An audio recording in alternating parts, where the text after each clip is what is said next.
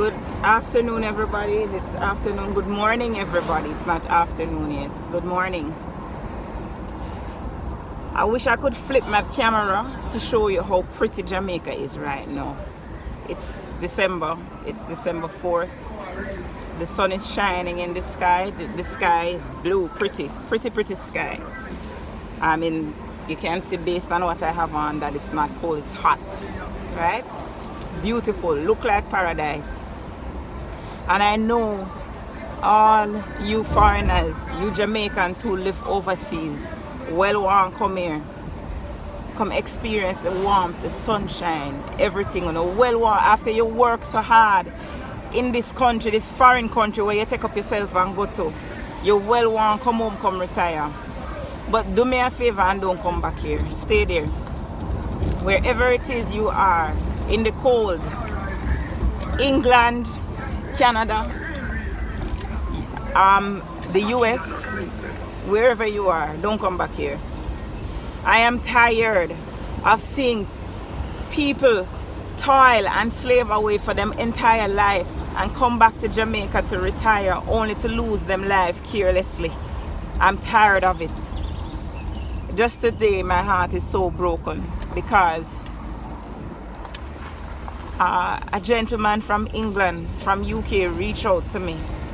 He could not find his partner who came here who was working on our house for over eight days. And today, yesterday evening, they found her buried in a shallow grave.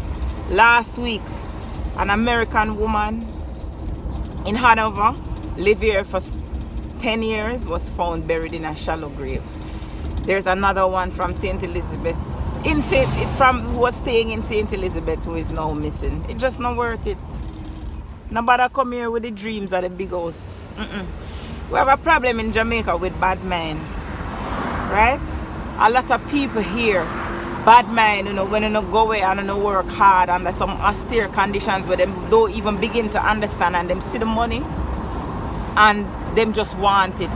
You know, keep on the money and keep on the life and stay where you is. Stay where you are. Don't come here. Don't come here. It ain't worth it.